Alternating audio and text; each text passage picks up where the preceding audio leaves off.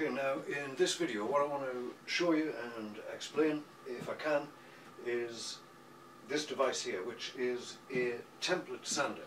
This is a sanding machine and we're going to use these templates with it so that we can make the same sort of pattern uh, each time uniformly.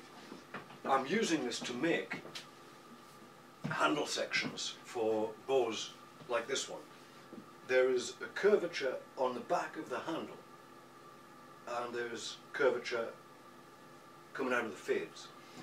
Now to get the same every time, um, if you're not going to be making many bows, you could probably do that on a belt sander, fair degree of accuracy.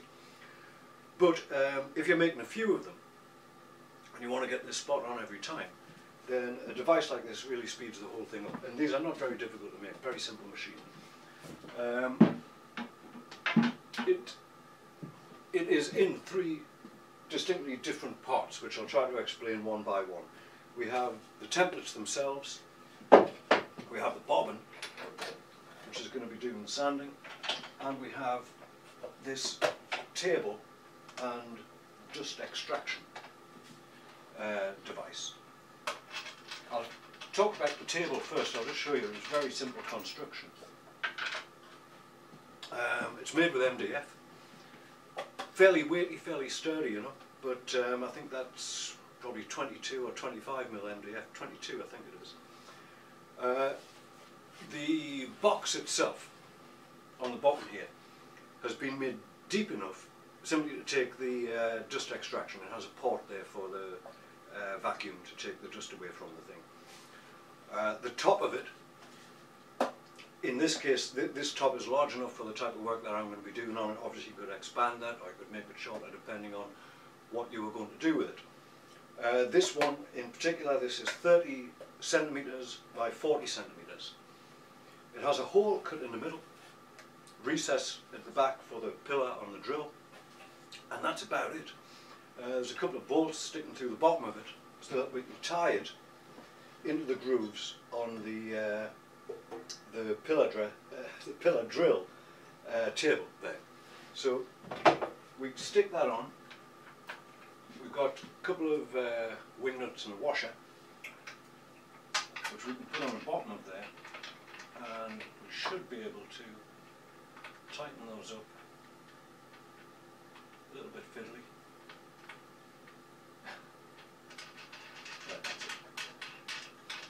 like so. So that's locked onto the table. Obviously you would use the two bolts if you were going to actually operate with this. Um, just for these demonstration purposes I'll just put the one in. Now, the next part of this is the bobbin. The bobbin is obviously the thing which is going to be doing the sanding. But the thing with it is we want it to sand the, um, the handles for the bows or the workpiece, but we don't want it to sand the template. So what I've done here, uh, the, this is the, the, bobbin itself is just a number of uh, plywood discs which have been araldited together. And they have a 8 mil bar, threaded bar going through them. From the bottom up we have a nut on there, then we have a washer, we have a very small uh, bearing which is from a scooter or skateboard, we have another washer, then the plywood discs, a nut on top and the rest of the bottom go into the chuck. And that's it, it's very simple. But the principle with this, the idea is that when you're putting the um, when you're putting the wood through it, the template itself is going to hit up against the bearing and the slide up and down there fairly freely uh, without actually damaging the cutting face of the template. Inside that is the actual cutting face and that's where the bobbin is going to spin. So the bobbin itself, um, the sandpaper, I have this attached to this simply with um, some spray adhesive. I did try this putting a little groove in here and folding the paper in and it worked to a degree but not perfectly. Um, but I find that coupled with some um, some spray adhesive, just spray it onto the back of the paper and stick it around the drum and that seems to do the job. So if we, you put the bobbin in, get the table aligned, tighten it up, and it's pretty much ready to go. Another thing with this, I've used this hole cutter to, to make this. So the, the uh, hole in the table is obviously going to be the outside diameter of that, and the bobbin is going to be the inside diameter. So we have a little bit of air room around it to take the dust away, and that works really well. So that's those two. Now the third part of this is the templates themselves. And the templates, again, are not fantastically difficult things. Uh, this is made with um, 6mm ply for the base. It has an 18mm ply for the back wall, because that's going to take some pressure as you're putting it through. And it has this little step up here, which is a piece of 4mm ply.